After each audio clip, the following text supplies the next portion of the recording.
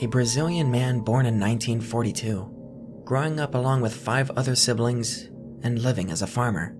João Teixeira de Faria, or as I'll be referring to in this video, John of God. John would face the troubles of poverty growing up, going as far as dropping out of elementary school just to assist his family. He would watch families starve, soil dry up, animals be slaughtered, and John knew, deep down, that something must be done about this misery. John would begin to search for answers from religion, and at the young age of nine years old, John would claim to discover his very first vision. He was to be a healer, a medicine man, sent by God Himself to spread the word of the Lord and spread cures to those accepting. Allow this to be translated real quick before we get into this. John was to become a snake oil salesman, spreading fraudulent, baseless claims and placebo pills to poverty stricken victims, leaving them to rot as he traveled onward to pick at the pockets of other sick, vulnerable villages and towns. John claims that his first healing session occurred when he was just 16 years old, and that this would cause him to dive headfirst into becoming a servant of God.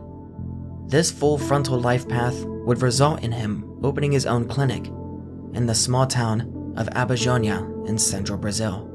Abadiânia would be ranked at 165 out of 242 boroughs due to the town not having good infrastructure, very little schools, and no hospitals.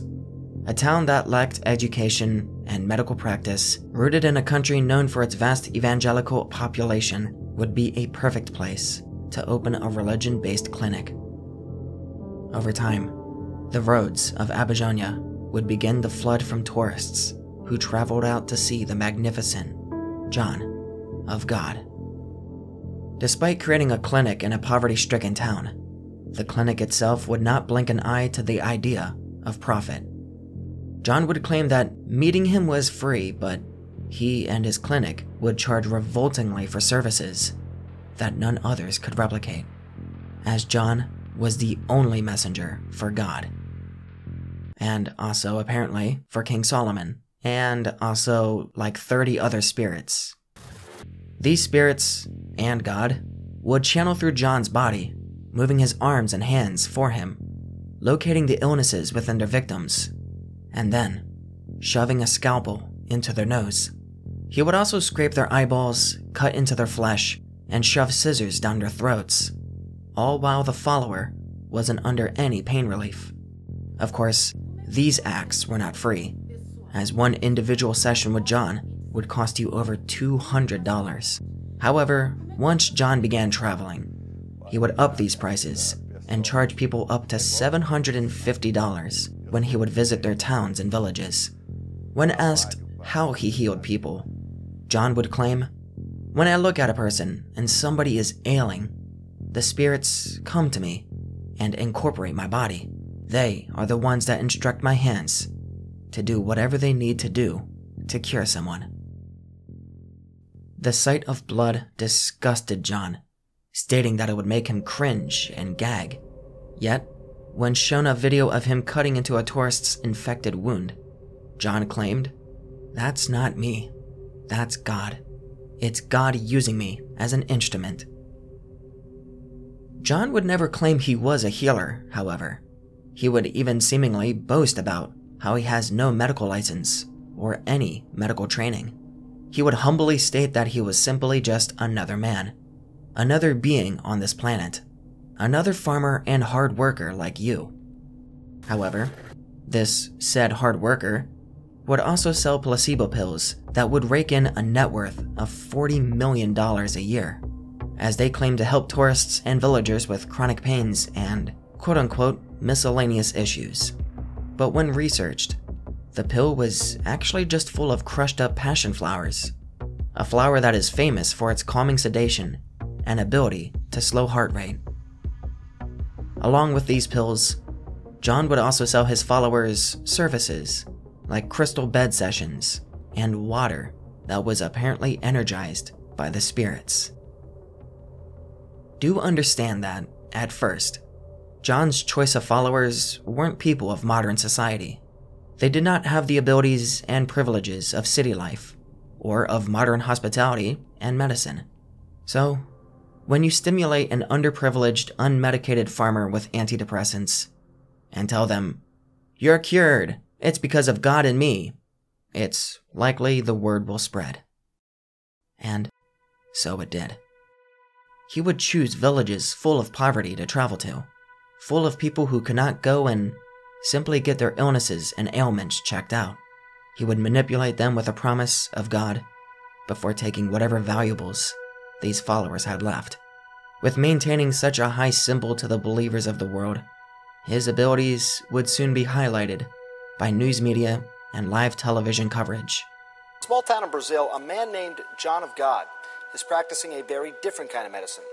Tsunami of grief is how you described it. And in the article uh, in, in December, oh, she describes how she wondered if John of God could help patch up the hole inside you, is what you said, right?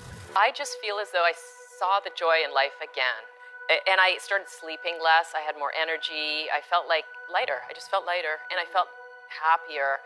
I actually probably couldn't have been sitting here right now talking to you about my father without totally breaking down.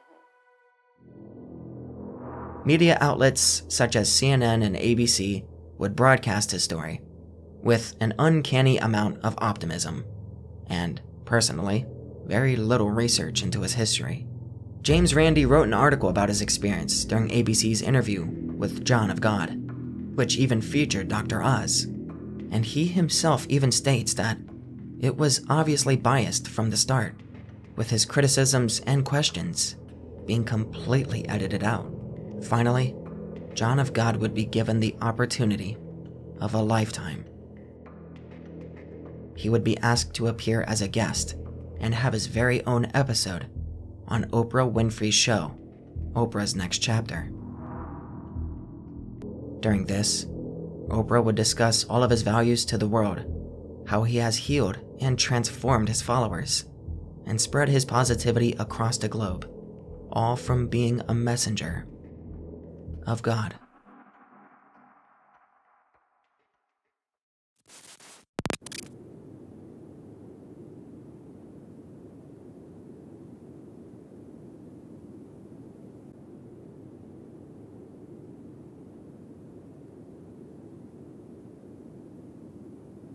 He would turn himself in, but would deny every allegation.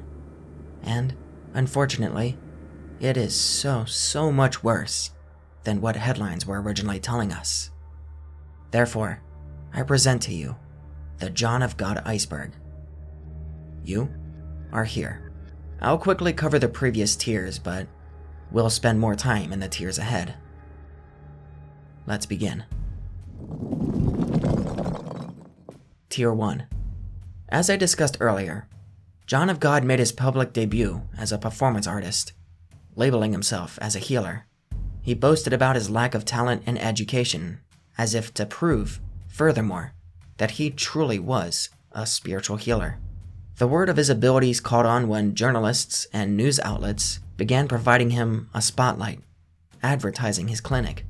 In 2012, Oprah Winfrey would air an episode dedicated to the services and good deeds from John of God. Tier 2 When asked about his quote unquote abilities, since he lacked proper education to perform surgeries, the healer claimed that he himself became a vessel for God, that God and or a vast number of spirits would take over his body like a remote device. They would guide his arms and hands around the patient's body, deciding where to slice and where to shove scalpels.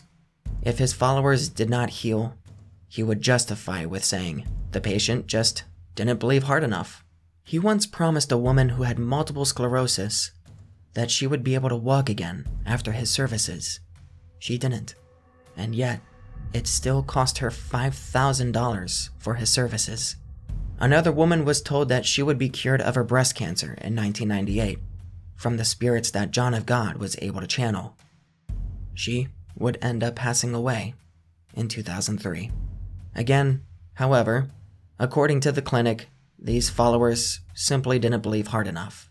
If his followers didn't believe enough, or didn't have enough money for his one on one services, or just didn't have enough time, John and his clinic would direct these people towards his spiritual pills, placebo pills, that were merely crushed up organic passion flower, a plant that, when ingested, would cause symptoms similar to antidepressants and could slow heart rate.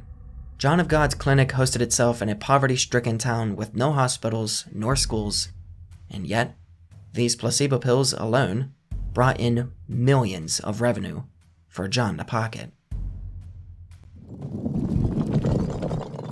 Tier 3 Years after his appearance on Oprah Winfrey's show, and after an interview on 60 Minutes, accusations would begin to come forward. Victims would tell of horrific and graphic experiences when they were alone with John of God. Multiple accusations were from both direct and indirect witnesses. When confronted individually, John would tell them that it was either part of the healing process or that a man has urges. John of God would later be accused of forced fellatio, molesting during spiritual services, and even accused of forcing himself on victims in both his office and the women's bathroom. Once these claims came to light, the Catholic Church denounced any connection to John and issued a televised verbal warning. John of God does not have any official affiliation with the Catholic Church. They cautioned everyone to be wary and skeptical of people seeking publicity with claims of miracles and faith healing, especially when there is money involved. When John submitted himself to the Brazilian police, the court had selected a handful of victims to come forward, 12 in total. But when the news first broke of his crimes, the prosecution office of the state had to create a completely separate phone line and email address for reports about John of God. Within 30 hours, the office received 200 accusations, and in the end, over 600 victims around the globe accused John of sexual harassment and assault. He would be found guilty for the rapes of at least four women and was sentenced to 19 years in prison. One year later, he was found guilty for five additional women, making his prison sentence transform from 19 years to 63 years. He would only serve two of those years in prison before being placed on house arrest due to poor health during the pandemic. As of 2021, 44 more victims came forward with their stories, to which John is now being trialed for 10 additional sex crimes. Even John's own daughter, Dalva Teixeira, would come out and accuse him of sexually abusing her until she was 14. By then, Dalva fled home and never came back. She stated that, for years, since she was a small child, John would force her to touch him and force himself onto her. Dalva Teixeira was terrified of her own father, the same man who claimed to be a vessel of God. The internet seems to fold in on itself when it comes to John's original arrest. Some journalists state that he was originally arrested for illegally possessing firearms, and that the assaults were tacked on afterwards. But other articles state that he was arrested originally for the assaults, and the illegal possession of firearms was tacked on after investigating him. Nonetheless, it is official that John of God, while in his fame and glory, for some reason, illegally owned a wide range of firearms.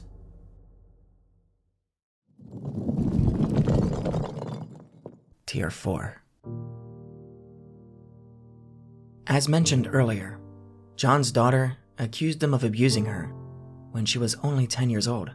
He would continue this abuse until they discovered that she was pregnant by one of his employees, there lying an implication that John's coworkers were possibly in on the assaults themselves. Once discovering that she was pregnant, Dalva states that John beat her relentlessly until she miscarried. But this would not be the only story about a childhood being destroyed due to John of God's disgusting actions. Of those 200 reports within the first 30 hours, a percentage of them, though the exact number itself is unknown, especially with the reports more than tripling, contained reports accusing John of God of being a pedophile.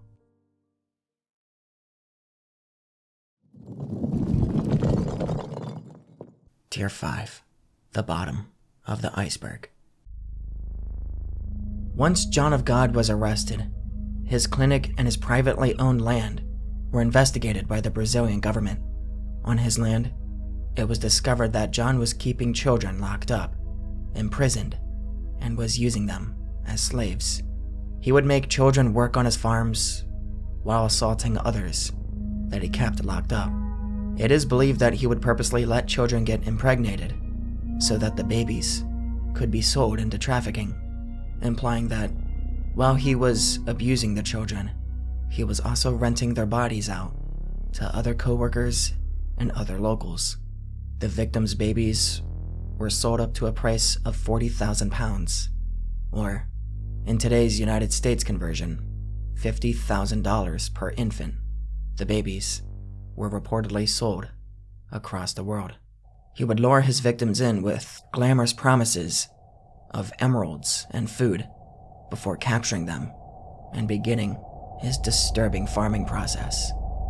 Sabrina Bittencourt, an activist who looked into John's private life, claimed that he would impregnate the women, sell their child for anywhere between seventeen to seventy thousand dollars, before murdering the mother.